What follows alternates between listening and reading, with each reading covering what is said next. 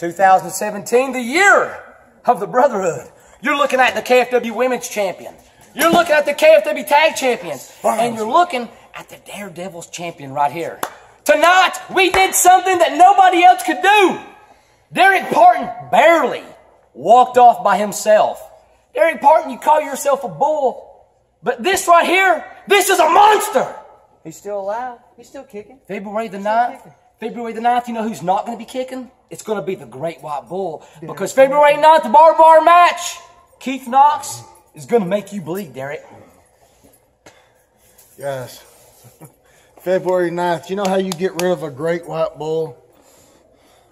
Tell us about Do it. Do you know how you get rid Tell of a great Yeah, I've been waiting. Tell me.